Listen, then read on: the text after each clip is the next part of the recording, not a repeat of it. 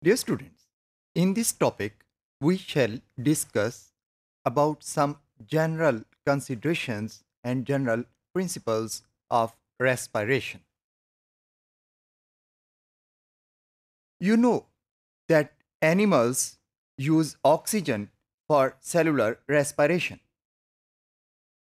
They generate carbon dioxide as toxic waste, which may result in the fall of pH level of the body. To obtain oxygen and remove carbon dioxide, animals exchange these gases with the environment.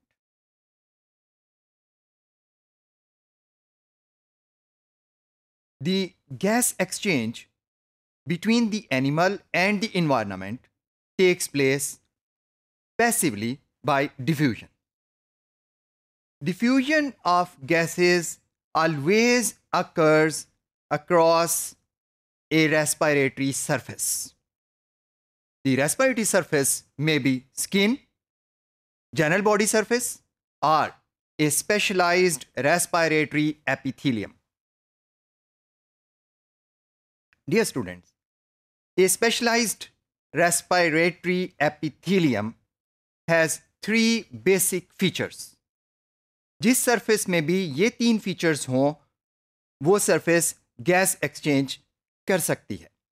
Number one large surface area and low diffusion distance number two the epithelium should be thin and number three it should be highly vascularise that is supplied with blood capillaries Dear students, we shall discuss these three features in detail one by one. First, we are going to discuss the surface area of respiratory epithelium. The animal's oxygen requirements and carbon dioxide production is proportional to its mass, body mass. However, the rate of gas exchange is related to the surface area and diffusion distance. To facilitate the gas transfer, the surface area of respiratory epithelium should be large and diffusion distance should be small.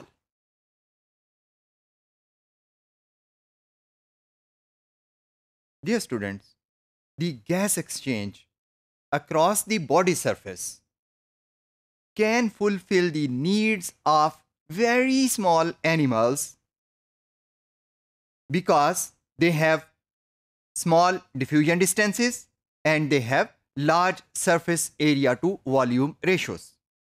वो animals जिनमें body surface से ही gas exchange sufficient होता है उनमें small animals जैसे कि rotifers हैं और प्रोटोजोआन, जो कि यूनिसेलुलर ऑर्गेनिजम्स हैं, जिनका के डायामीटर 0.5 मिलीमीटर mm से कम होता है। ऐसे एनिमल्स में सिर्फ़ बॉडी सरफेस से की गई गैस एक्सचेंज इनफ होती है।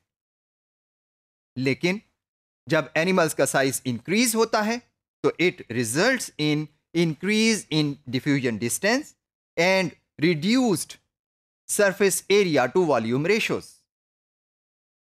In that case, animals' gas exchange requirements cannot be fulfilled by its general body surface.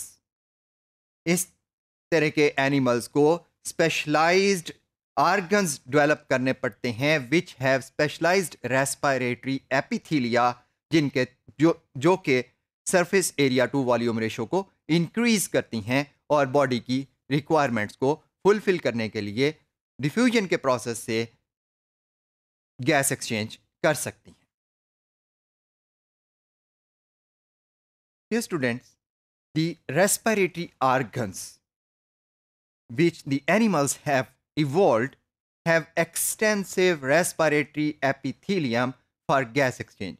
For example, humans में अगर हम देखें तो humans have specialized organ which are called the lungs lungs का जो respiratory surface area है वो 50 से लेकर 100 मीटर स्क्वायर तक होता है students, the second major feature of a respiratory epithelium is that it is a thin surface.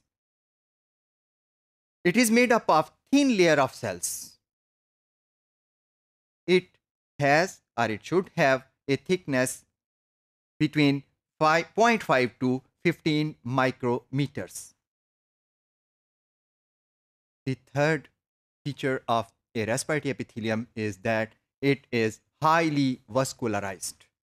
Highly vascularized का मतलब ये है कि ऐसी सरफेस के साथ बहुत ज़्यादा ब्लड कैपिलरीज की सप्लाई दी जाती है ब्लड फ्लो का इफ़ेक्ट क्या होता है कि it reduces the diffusion distance for gas transfer